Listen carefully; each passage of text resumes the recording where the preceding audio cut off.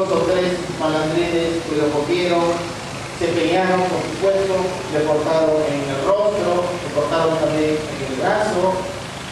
Y bueno, pues, uno dice, pero ¿cómo es posible? No habrá otras personitas más que pueden ayudar o apoyar. Entonces, habría que mantenernos más en esa unidad.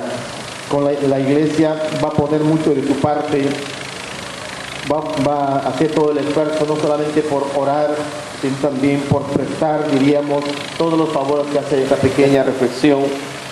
También, mis queridos hermanos, no voy a eh, eh, dejar de decir a trabajar desde las raíces de nuestra generación. Aquí tenemos varios niños, jovencitos, ¿eh? que han estado jugando al fútbol allá con el señor a y las autoridades. Padre Carlos, amigo Carlos. Comandante Miguel Paso, amigo Miguel. Amigo Carlos, muchas gracias por venir.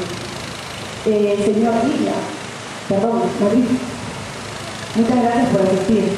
Y a todos ustedes, y los representantes. Eh, a junta directiva, las señoras que nos apoyan y nos hacen posible estar aquí, abrigándonos en este aniversario.